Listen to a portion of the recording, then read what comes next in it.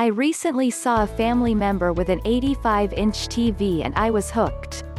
I never jumped on the 4K bandwagon and had a plasma that was 4 to 5 years old, no smart TV, number 4K. I figured this was a good time to jump in. I saw the LG 86 inches TV for about 2,200 on a few websites, but there were almost no reviews anywhere on the product which spooked me. I have always owned Samsung so I trusted it when I saw the Q60.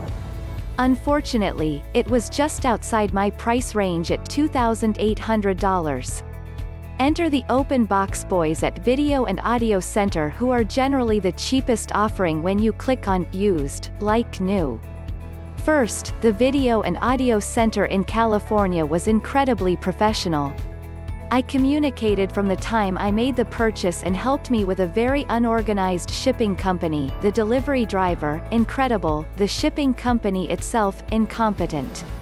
It was projected to arrive on August 12 and it arrived on the 16th. Nevertheless, hard to beat free shipping from California to the East Coast with a 130 pounds package. The 80 inches model is heavy as all get out.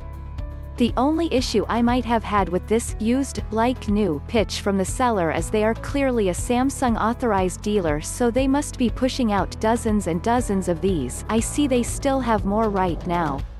The rear of my TV had a 4-inch gash in the plastic. No one will ever see it. It didn't bother me at all. However, I would recommend that the seller perhaps take a more individual approach to each specific package. They are selling this as an open box, like new. Clearly, someone tried to mount this, failed when they realized it was too heavy and caused a gash near the mounting hole. Again, I would have still bought this at a $700 discount for something no one would ever see, but it would have been nice to know. The shipping driver who was incredibly helpful felt bad because he thought they might have caused it when clearly this was an old issue. Just be forewarned if you are buying from Amazon's used and new tab. The TV itself is breathtaking. If you can squeeze out the extra cash for this over a 65 to 75 inch, do it. Obviously, my old plasma had a much higher refresh rate, but the sheer size of this is insanity.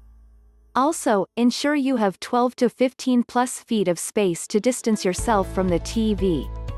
I am about at 12 feet and the size is perfect, but I can see if I were to watch a fast motion paced game or movie, my eyes may not be able to handle it quite as long. It is literally like sitting in a theater, the good and bad that comes out of that.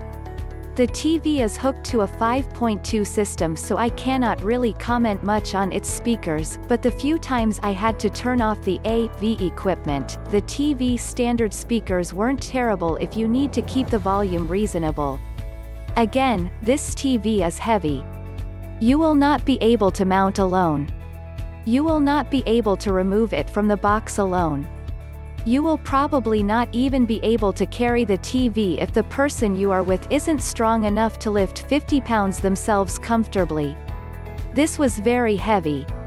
We ended up buying a gigantic and heavy mount that we paid Amazon to mount for us just so we didn't have to deal with this ever again.